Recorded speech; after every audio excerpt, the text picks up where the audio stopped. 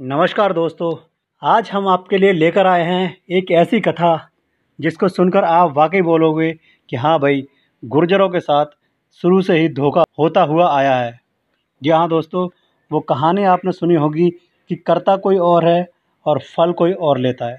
तो ऐसा ही आज हम आपको इस कहानी में बताने जा रहे हैं कि लड़े गुर्जर, लेकिन उसका पूरा श्रेय किसी और ही को गया है। ऐसा ही इस लिस्ट में एक नाम है कैप्टन कमल राव।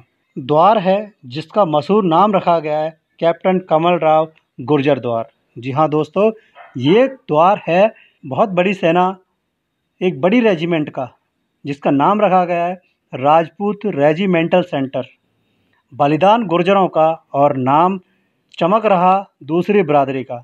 अक्सर ऐसा ही हमारा हक मारा गया, हर समय जब भी इतिहास में गुर्जरों ने बलिदान दिया। सारे गुर्जर इतिहास का राजपूतीकरण किया गया।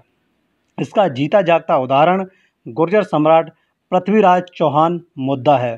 पृथ्वीराज रासों में सीधा सीधा पृथ्वीराज के पिता को गुर्जर लिखा गया है।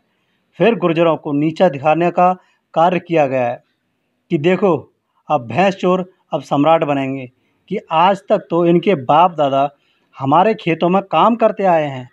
आज ये सम्राट बन रहे हैं। हमारा इतिहास चुरा कर बहुत बढ़िया। ये होता है चोरी, ऊपर से सीना चोरी। गुर्जर प्रतिहार, चौहान, तंवर, सोलंकी, पवार आदि सभी राजवंशों का राजपूतीकरण कर गुर्जरों को इनके इतिहास से पृथक करने का षड्यंत्र रचा गया। मरु गुर्जर, गुर्जरी भाषा, गुर्जर स्थापित्य कला सबका राजपूतीकरण कर गुर्जरों के इतिहास को तोड़ मरोड़ कर दुनिया के सामने पेश किया गया।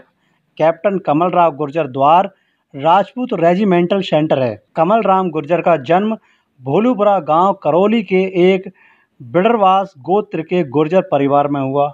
कमल राम ने द्वितीय विश्व युद्ध में विक्ट्री क्रॉस का सम्मान हासिल किया, जो कि ब्रिटिश सेना का सर्वोच्च पदक था। इन्होंने गारी नदी पार करके रोम किले की तीन चौकियों को ध्वस्त किया था। सिर्फ़ ग्यारह जवान इनकी टीम में ज़िंदा बचे हुए थे। तो एक रस्सी के सहारे कमलराव गुर्जर किले पर चढ़े। छः दुश्मन सैनिकों को मारा और तीन को बुरी तरीके से घायल कर दिया था और अपने बंदी सेना अफसरों को दुश्मनों के किले से छुड़वाया था। तो ये सारी वीरता हैं जो करी हैं गुर्जरों ने और नाम किसी और को मिल रहा है। तो भाइयों, ये काम अभी से नहीं हो रहा है। ये बहुत पुराने समय से होता चला आया है।